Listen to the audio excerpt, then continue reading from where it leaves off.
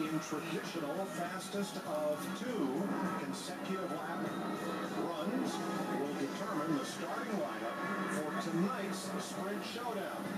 Danica Patrick, Joe Nemechek headed out for their cars. Danica has drawn the number one qualifying position when it's nice and warm. Eric Almirola right behind her. Uh, Marcos Ambrose among those who will qualify out back. Does it make a big difference with 23 cars whether you go late? Uh, not as much as normal, I don't think. Starting at this time of the day, so is not going to be a great big factor. It does make a difference whether you're qualifying up not, because you know getting on the pit road, pit road selection, those are all things there, as you well know, are going to probably dictate the outcome of this race. Yes, especially in a, in a short race with just two 20-lap heats. Yeah, we talk about it week in and week out. It doesn't matter if it's a 500 lap race, a 600 mile, or 400 mile.